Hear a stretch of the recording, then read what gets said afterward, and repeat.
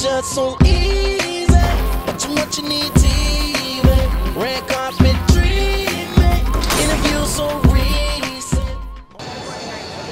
This is Elly Kaye with WTV. We're here live at the Red Party, here with Paulie Litt. Hey, how you doing tonight? I'm doing great. How are you, Paulie? I'm fabulous. Have you ever been to the world famous Madame Tussauds Museum before? Uh, I've been to the one in in New York, never the one out in L.A. I'm, I'm excited. Oh, awesome.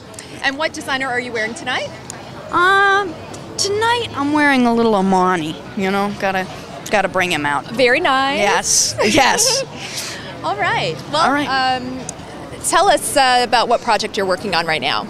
Well, I just finished another episode of Wizards of Waverly Place. Uh, I was, I did it about a year ago, and they did a few episodes, and they brought my character back just a few weeks ago. So I'm, I'm very happy about that. And right now I'm working on uh, a little show bringing back the big band era, of the 30s and 40s, with a with a big band, and I- I'm singing because I love that music, and I, I think it's it's great. That is awesome. Are you singing tonight? Uh, I'm actually not, but you know, it's a really great foundation. It's what my fourth year coming here now, and really, it's, it's fabulous.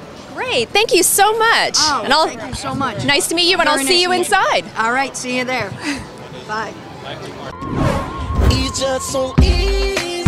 But too much you need. Red